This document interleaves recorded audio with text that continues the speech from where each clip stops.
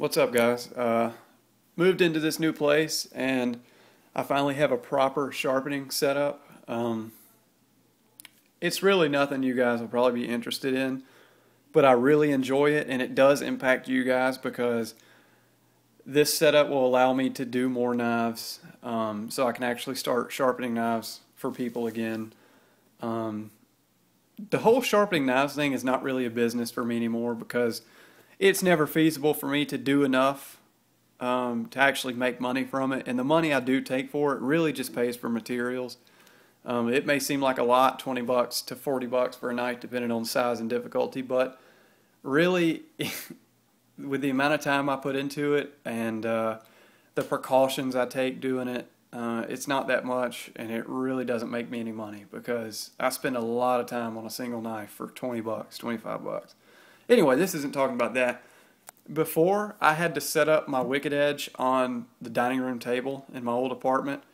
Um, and I had my computer right in front of me. Just a lot of things that didn't need to get damaged from metal dust and such. And it really just held me back from sharpening. And I didn't have every implement right close to me.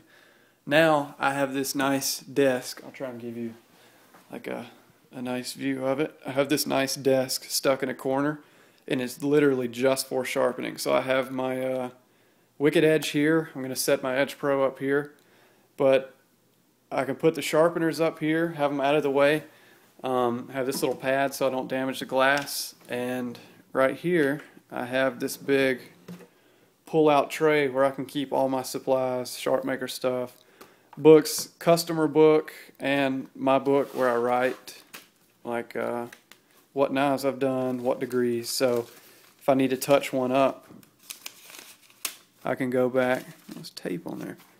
I can go back and uh, see exactly how I sharpened it and uh, do it exactly the same way. And keep my mask for the the uh, metal dust, although Clay came up with a really good solution to that. Keep my box of stones in here, magnifying glass, uh, paper to cut with, uh, my strops and uh, magnifying glass to look at the edge. I had more room for other things too. I really like this setup. Um, Sharpies to mark on the edge. I know that you guys probably don't care, but this was a huge deal to me. I absolutely love it. Um, so I figured you guys might want to see it.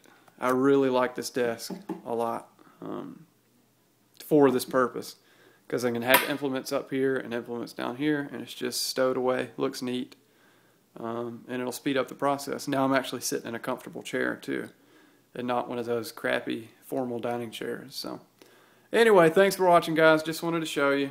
Um, was kind of happy about it. Still loving these new arms. The fine adjustment is amazing. It makes this system so much better. Um, and these metal rods are actually a little bit thicker in diameter than the old ones, so you don't actually have to use the uh, straw upgrade anymore either. So, thanks for watching, guys. I'm about to sharpen up this Techno and get it to a lightsaber status, so I have a little pocket lightsaber. Techno is awesome. Has a great cutting angle, so you're getting down on something and you have nothing but belly. Nothing but belly. Even when you're gripping the knife, bunch of belly to work with. Really like this little thing. So anyway, thanks for watching, guys. See you next time.